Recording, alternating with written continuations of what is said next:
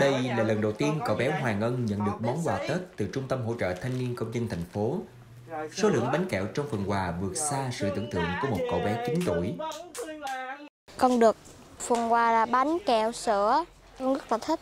Và con sẽ cái học thực trợ để cảm ơn mấy cô và mấy chú.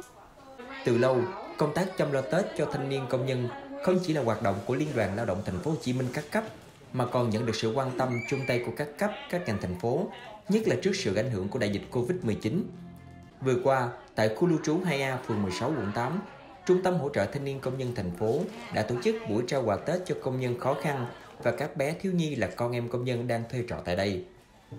Cảm xúc của mình rất là à, phấn khởi vì đây là lần đầu tiên mà tổ chức cái chương trình vui Tết cho thanh niên công nhân tại khu lưu trú văn hóa số 2A Bến Phước Định, phường 16, quận 8. Cái à, món quà tuy không cao nhưng là rất là thiết thực những cái à, món quà đó là cái thực phẩm thiết yếu cho mùa Tết. Em vào đây thì tính ra cũng được 5 năm rồi nhưng mà em chỉ về quê được một lần là năm đầu tiên thôi. Thì cha có cha mẹ hỗ trợ thì trong suốt 3 năm vừa rồi thì em chưa có về quê. Về thì tiền bạc là đường xá xa xôi con cái rồi nhưng mà bây giờ được hỗ trợ thì em rất là biết ơn đến hội thanh niên công nhân và thông qua đây thì em gửi lời cảm ơn đến à, ban tổ chức rất là nhiều.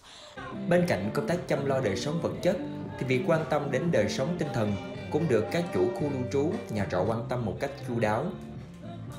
Mình ở đây là cũng 12 năm rồi, anh chị chủ nhà đây rất là tốt, à, chăm sóc đời sống ờ, công nhân như cái ờ, mùa dịch lần trước á, thì chị ờ, hỗ trợ rất là nhiều thực phẩm thiết yếu cho công nhân và chị cũng quan tâm đến công việc làm của mọi người.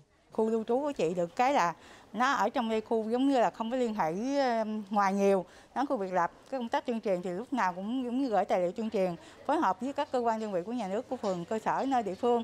Thì mình luôn chăm lo cho khu lưu trú là một tuần hoặc hai tuần. Thì có quà trong đó có là gạo, đồ ăn và thực phẩm. Riêng các bé thiếu nhi vẫn được hỗ trợ quà của trung tâm hỗ trợ cho các bé. Thì nói chung là rất là ổn định. Riêng á, mình, cuối đây là mình không có lên giá nhà trọ cái thứ hai là cái giá mình thuê rất là ổn định Món quà tuy nhỏ nhưng thể hiện sự quan tâm của lãnh đạo và chính quyền các cấp dành cho công nhân thanh niên trên địa bàn. Một mùa xuân mới lại về, hy vọng những món quà tinh thần này sẽ là nguồn động lực để anh chị em công nhân lao động vui Tết Nguyên đán Tân Sửu 2021 xuân vầy và ấm áp.